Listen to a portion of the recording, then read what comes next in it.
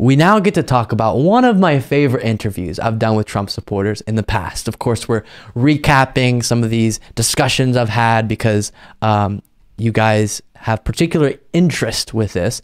Um, and so before we watch this clip, but like I said, stick around. It's very, very fascinating. Let me kind of give you the groundwork, lay the foundation. So uh, this is May 2022. Someone asked if I could give you the date when I do these past interviews. Mm.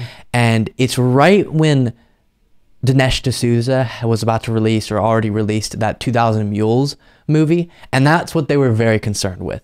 And so this, despite most interviews I do stay pretty chill and uh, it's not even that debatey. It's just kind of me hearing their views and it tends to be pretty bonkers. This one, I decided I'm going to push back a little bit if they talk about the election being stolen. And this is what we got.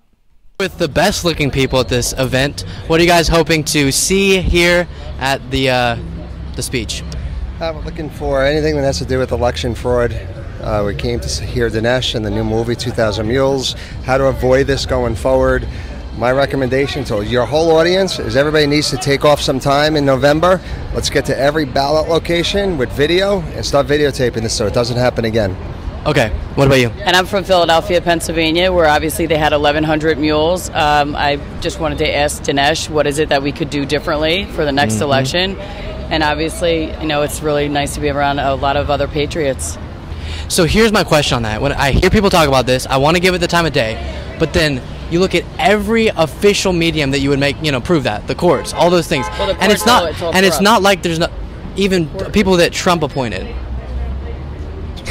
so that's my favorite part, where they're talking about how it was all stolen, and I'm saying, but no place where you would prove that was it proven. Mm. And her response is, well, the courts are all corrupt. But what about the judges that were appointed by Trump? And instead of saying they're still corrupt, which just assert that. If you're gonna lie, just keep lying out, whatever. um, she just goes, I don't know. It just turns to uh, the guy that she's with, and then you'll see in a few seconds here walks away. Question. So the thing is, we all know that it happens. So we. I don't know that, but. What's that? I don't know that. Well, I need evidence to believe something like that. You already know. I know. So listen, it's this. How about this? Social media only seems to censor liberals because they never talk how great Biden is. 81 million people. I've yet to see anything pro Biden. How about you? I think Biden's done good stuff. There's some pro Biden stuff. Like what? American Rescue Plan, getting out of Af- The way I said that was confusing. What I was trying to say is he said, I've never seen anything pro Biden. And I was like, I'll give you something pro Biden. I like Biden. You know, he's done some good stuff. Um, not a wholesale endorsement, I'm saying. he's done some good stuff, right? Um, and also some bad stuff. But that is such a strange response to why do you think the election was stolen if it hasn't been proven anywhere where you'd prove it? And his response is, well, how about this? I don't see too many things on social media that are pro Biden. Hmm. I think algorithms kind of make it that way sometimes for people who really like content that just tells them what they want to hear, right? Mm. Afghanistan, managing the Russia-Ukraine war. Taxes at its 40-year high, giving giving baby formula to immigrants coming over the border, except the own, our own. But on the baby formula thing, you do understand that that's like 0.001 percent of baby formula. It, are you affected by the baby formula? I'm not. All but right. if they don't get it, their babies starve. If Americans here, they can find other ways to get it, but they're about, stuck, detained. What about the Americans that are affected? and we need to help them as well, and that's what we're trying. I'm sure they're trying to do. An immigrant. Of course not. They're all important. I like the fact that our tax money goes to the Ukraine where it gets laundered back to these corrupt politicians. And the media media journals that are all liberal, much like yourself, you keep on spinning this, there's no escaping. He has done nothing right. But have a good day. You too. So, hmm. Just to quickly summarize the point that he was making, because it was kind of a story that was um, was relevant in that time shortage on baby formula, and the story came out that immigrants being detained at the southern border had gotten baby formula because they're detained, and if their their babies don't get it, they're just gonna die because we are the only ones that get to choose if they get it.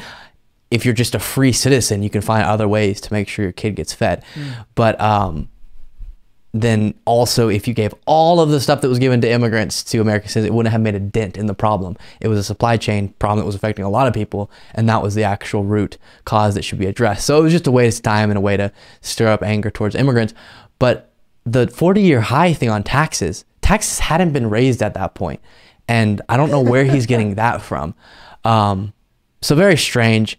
And again, one of the things that's weird is I talk to a lot of Trump supporters who, whenever we're just chill and talking, they'll say, you know, I really wish that liberals could engage in conversations. I feel like liberals don't ever want to hear things that um, contradict with what they believe. But then in the moment when I actually do that and we share our views, we're supposed to have that open exchange of ideas, right? Mm. It gets really uncomfortable and they want to leave. Whereas I'm great to stand there as long as they like and go back and forth and hear what they have to say. The only unfair part, I'll admit, I just noticed there for the first time, even though I've seen this a bunch of times, um, is it is nice to be the one holding the microphone because there was one part where he was talking and all you could hear was me talking. Um, but you know, I feel like I still give it to them often enough. Let them sure, say what they got to sure. say. Very, very interesting country we live in. Do not forget if you're interested in the occasional tweet. I'm not an aggressive tweeter, and I also am not great at caring about Twitter, to be frank. If you're wondering why I've never talked about it, never shouted it out, and um, not getting, sending out stuff that often, but I'm going to try to get better. Why am I doing this now that Twitter seems to be dying? I don't know.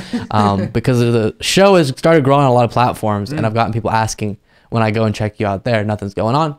It's going on now, okay? sort of.